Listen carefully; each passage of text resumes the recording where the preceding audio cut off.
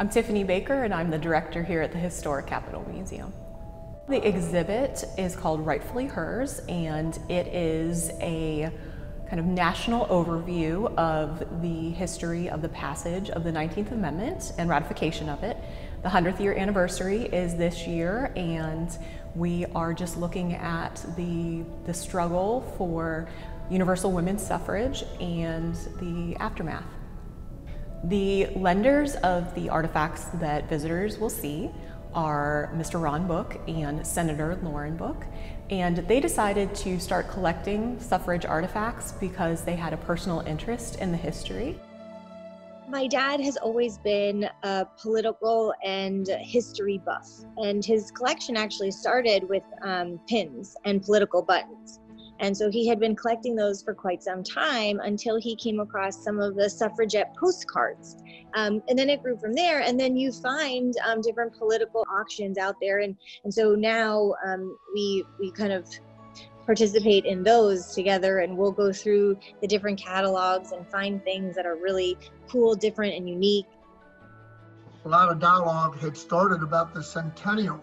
I told them that you know, had this collection, Lauren had this collection, um, and we thought we wanted to try to share it. What could we do to share some of it and some of the history with other Floridians and people who come to visit our historic capitol? As you walk down the hallway to look at Rightfully Hers, you are welcomed by this iconic suffrage image. It just is an overwhelming piece that provides this significance and weight to this important exhibit and this important historic moment. I, I think the ballot box is one of my favorites for what it represents. That, that there was a place for us to be recorded, that we weren't just chattel, that we weren't just property to be had, that we had a, that voice. The women's ballot box is from 1904. It is a ballot box that was used entirely for collecting women's ballots.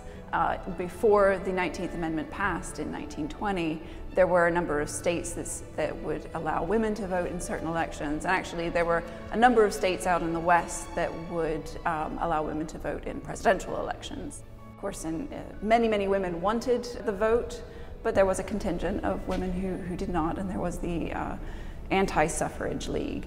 Now, the cat is a image that was used. So in the UK, the women would go into prison there, and they started to force feed them when they went on hunger strike. And so it, it brought about a lot of uh, attention, so they changed the law. And they started to release women when they started getting ill from the hunger strikes. And then as soon as they were well again and back to their activities, they would catch them again. And they called it the cat and mouse. There is a sewing kit that encourages folks to vote. It was a issue, government issue, from World War I. It just sort of draws your attention to all of the many things that were going on in the suffrage movement. Um, many visitors choosing perhaps to stay home or not being able to travel very far, we want to try to bring our content into homes as much as possible.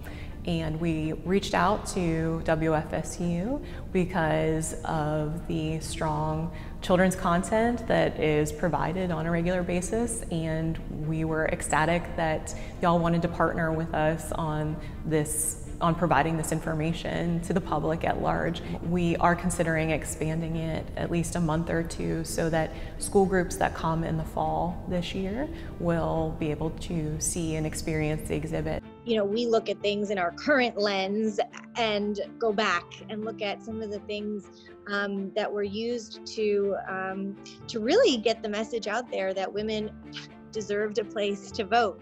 I want people to take away that in the end, equality ruled today in a democratic process. That to me, being on display in the historic state capitol, I don't think it gets much better than that. When visitors walk away from this exhibit, we hope that they will be considering the extreme value of their right to vote here in the United States.